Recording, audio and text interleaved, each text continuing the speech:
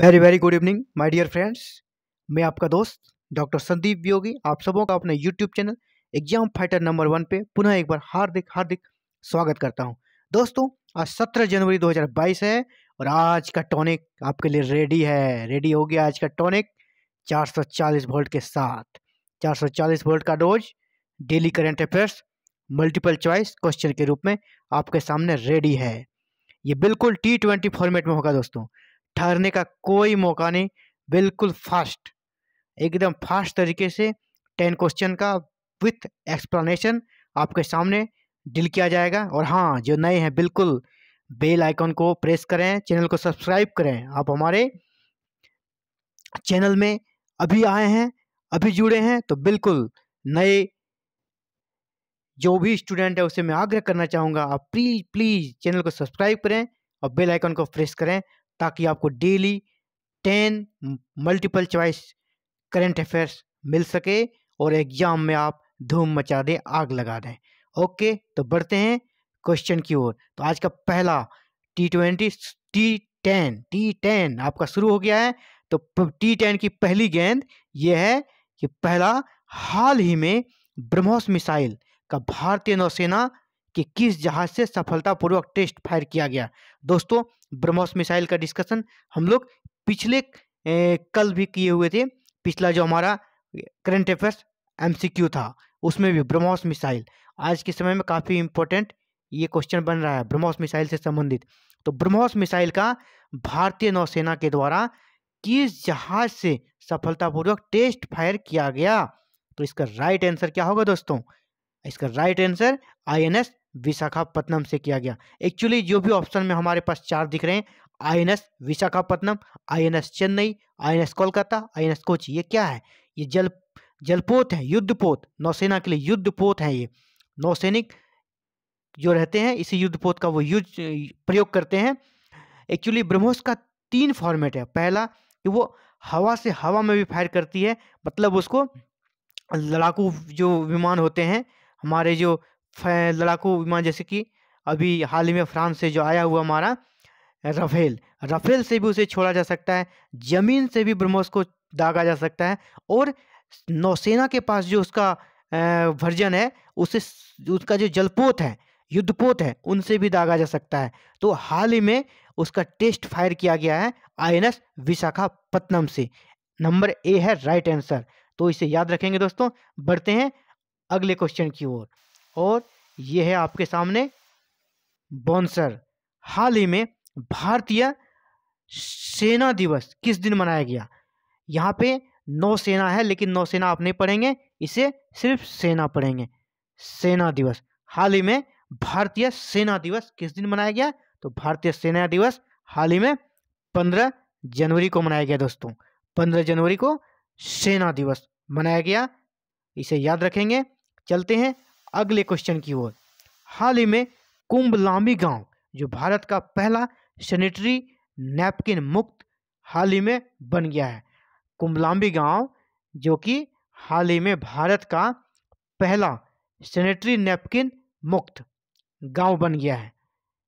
Sanitary napkin मुक्त गाँव बन गया है कुंभ लाम्बी ये हमारा किस राज्य में है? आपसे पूछा जा रहा है, कुंभ लाम्बी किस गाँव में है जो पहला सैनिटरी नैपकिन मुक्त गाँव बन गया है।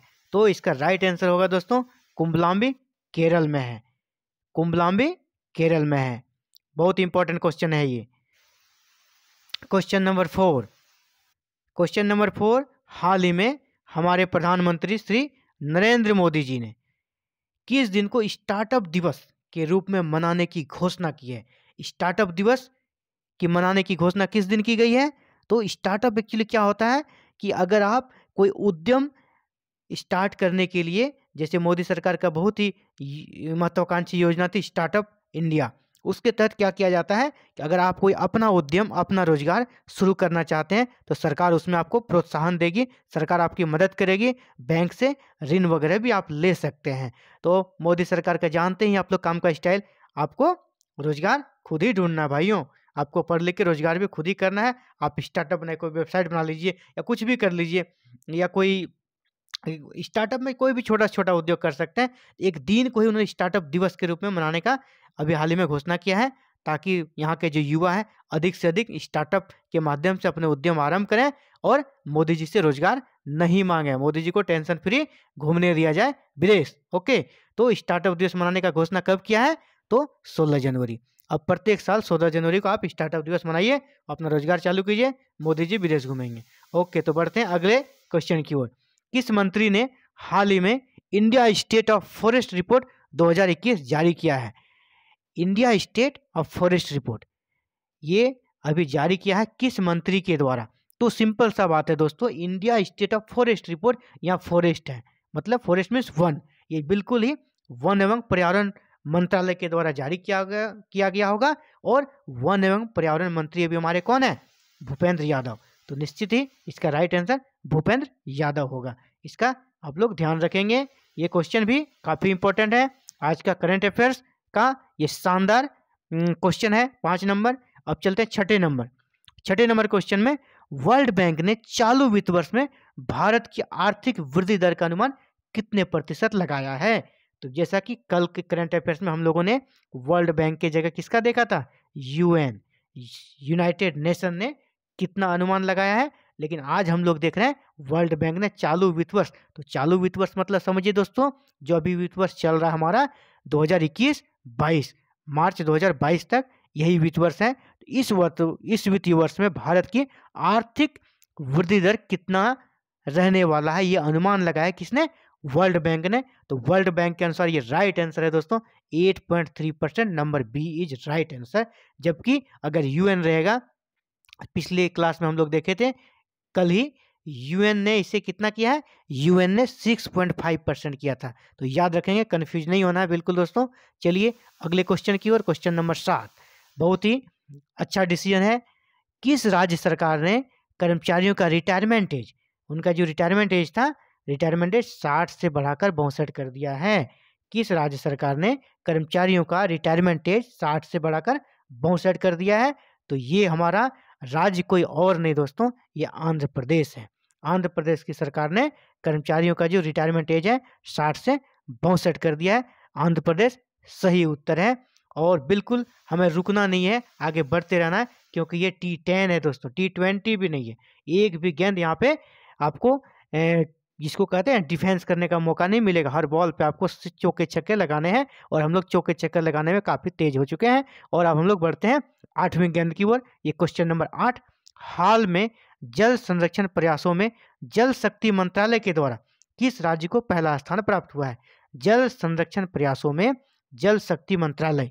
जल शक्ति मंत्रालय द्वारा किस राज्य को पहला स्थान प्राप्त हुआ है? एक्चुअली जल का कितना अच्छा से बचाव करते हैं, उसको कितना अच्छा से संरक्षित करते हैं, इससे संबंधित ये अवार्ड दिया गया था। इसमें पहला स्थान हमारे योगी जी के राज्य उत्तर प्रदेश ने हड़प लिया है और पहला स्थान उत्तर प्रदेश को मिला है योगी आदित्यनाथ जी का राज, योगी जी का, योगी राज। तो चलते हैं क्वेश्चन नंबर नाइन की ओर। भारत और हमारा सबसे बड़ा दुश्मन चीन। भारत और चीन के बीच जो वर्ष 2021 में कुल कितने अरब डॉलर का द्विपक्षीय व्यापार हुआ? भारत और चीन के बीच 2021 में कितने अरब डॉलर का द्विपक्षीय व्यापार हुआ? मतलब दोनों देशों के बीच जो भी व्यापार हुआ पूरे साल में 2021 में वो कुल कितने अरब डॉलर का रहा? तो ये दोस्तों इसका राइट आंसर है, याद रखेंगे। बहुत ही इंपॉर्टेंट 125.66 अरब डॉलर। और ये भारत का द्विपक्षीय व्यापार सबसे ज़्यादा है किसी भी देश के तुलना में।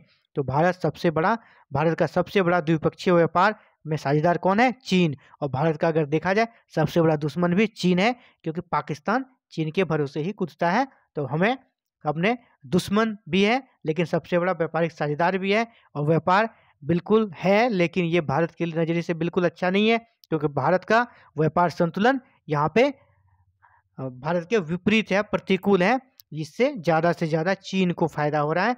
भारत समझिए रेशियो अगर देखा जाए थर्टी और सेवेंटी के रेशियो में सेवेंटी परसेंट चीन है थर्टी में भारत है। तो ये भारत के दृष्टिकोण से अच्छा नहीं है और ये लेकिन चीन के दृष्टिकोण से बहुत ही फ़ायदेमंद है। चीन हमारे हर तरह के मार्केट में छा गया है। इसीलिए ये जो द्विपक्षीय व्यापार है, काफ़ी बड़ा है, लेकिन हमें खुश होने की ज़रूरत नहीं है। इस पर हमें चिंतन करने की ज़रूरत है। द्विपक्षीय व्यापार में भारत का संतुलन मज़बूत हो। इस दिशा में हमारी सरकार को काम करना चाहिए। चलिए, अंतिम ज्ञान। दसवें ओवर की अंतिम गेंद आपके सामने रेडी है। दोस्तों, आप बॉन्सर लगे, चाहे यॉर्कर आपको सिक्स लगानी है। ये क्वेश्चन काफ़ी इंपॉर्टेंट है। हाल ही में आप लोग बिल्कुल न्यूज़ में सुने होंगे और ये क्वेश्चन एग्ज़ाम में आ सकता है। हाल ही में किस राज्य में मैनागुरी मैनागुरी एक जगह है, मैनागुरी के पास गुवाहाटी बीकानेर एक्सप्रेस पटरी से उतरने के कारण पाँच व्यक्ति की मौत और कई घायल हो गए। मतलब है जो गुवाहाटी बीकानेर एक्सप्रेस ट्रेन है, वो पटरी से उतर गई, दुर्घटनाग्रस्त हो गई और वो जगह थी मैनागुरी आपसे पूछा जा रहा है, वो किस राज्य से संबंधित स्थान है? तो ये हमारा पश्चिम बंगाल में है। पश्चिम बंगाल से संबंधित है तो ये थे आज के दस महत्वपूर्ण multiple choice current affairs question उम्मीद है आप सभी को अच्छा लगा होगा और बिल्कुल ही अगर आपको प्रतिदिन हमारा करंट अफेयर्स चाहिए, प्रतिदिन इवनिंग को एग्ज़ाम फाइटर नंबर वन की तरफ़ आपको एग्ज़ाम के बेहतरीन तैयारी के लिए दस मल्टीपल चॉइस क्वेश्चन मिलेंगे। और अगर नए हैं तो हमारे चैनल को सब्सक्राइब करें और इसे लाइक करें, शेयर करें और फिर कल इसी तरह इवनिंग में मिलेंगे 18 जनवरी 2022 के के टॉनिक को लेकर। आपको 440 वोल्ट के साथ। Okay bye bye good night, शुभ रात्रि।